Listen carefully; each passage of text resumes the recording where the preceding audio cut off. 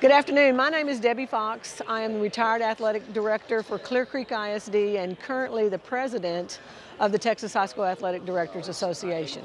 I would like to take this opportunity to invite all THS ADA members to register and attend the 2023 THS ADA State Conference. The THS ADA State Conference offers a consistent lineup of professional development opportunities for all members.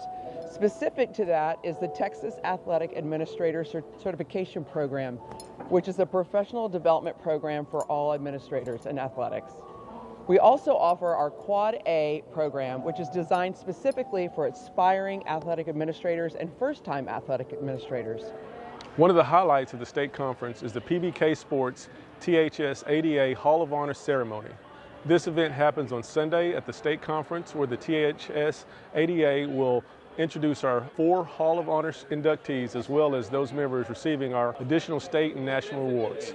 Besides all of the professional development sessions that occur at the state conference, there's plenty of opportunity for the THS ADA members to network with each other outside the classroom and attend many of the social functions that occur after hours. So the largest event we host at the state conference is the trade show.